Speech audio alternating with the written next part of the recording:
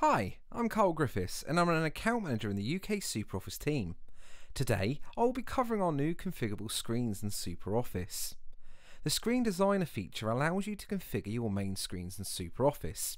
You can create different screen layouts for different user groups, depending on their information needs and workflows. This will help your organisation to be more effective and focus on what matters most.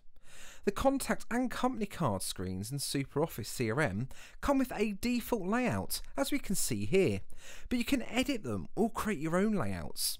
Since different user groups often use the contact and company cards differently, it could be a good idea to create different layouts for each user group. Let's see an example of how this can look different to another team. As the new user is in the sales team, I am now seeing different information than before. What's been most useful is how the screen designer allows me to remove unwanted fields and add the crucial information I need to see as a sales user. For example, removing the VAT number and adding additional buttons for quick actions.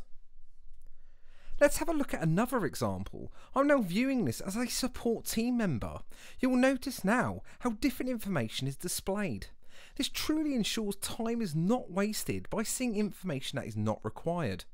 The new tool also allows you to include dividers and even add specific labels to make the screen even more professional and neat looking.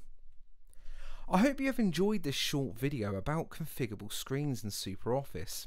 If you would like to learn more, you can contact your account manager directly.